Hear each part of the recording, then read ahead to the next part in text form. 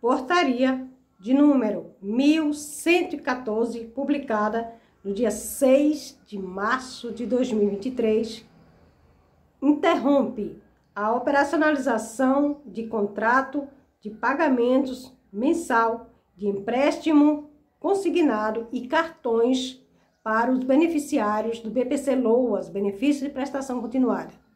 O que você acha disso? Qual é a sua opinião? Você concorda ou não?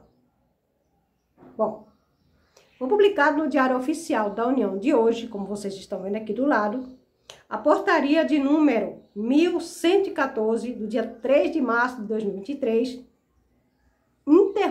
interrupção da operacionalização dos contratos de pagamento mensal de empréstimo, financiamentos, cartões de crédito e operação de arrendamento mercantil dos benefícios de prestação continuada BPC Loas. Artigo 1.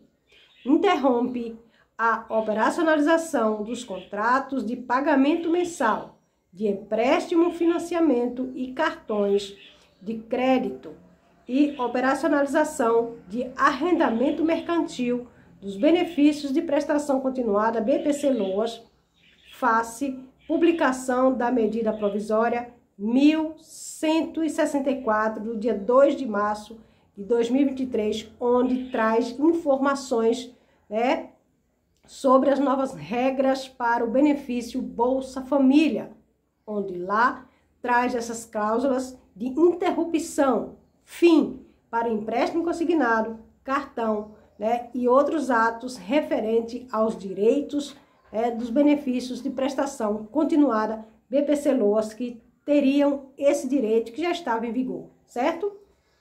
Artigo 2 a Coordenação Geral de Pagamento de Benefício, CGPAG, em conjunto com a DataPrev, deverá tomar as medidas necessárias às adequações de legislação e sistema. Artigo 3. As instituições financeiras ficam impedidas de executar novas averbações ou comando que contemplem as operacionalizações descritas no artigo 1 desta portaria. Artigo 4.